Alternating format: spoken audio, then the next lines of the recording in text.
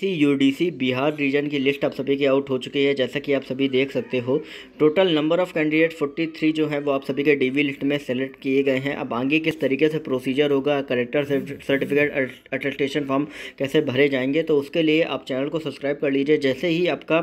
joining वगैरह issue होगी आपको सारी अपडेट्स यहाँ पर टाइम टू टाइम मिलते रहेंगे टेलीग्राम ग्रुप को ज्वाइन कर लेना क्योंकि वहाँ पर कैंडिडेचर अगर किसी का कैंसिल होता है तो वो भी आपकी इन्फॉर्मेशन वहाँ पर अवेलेबल करा दी जाएगी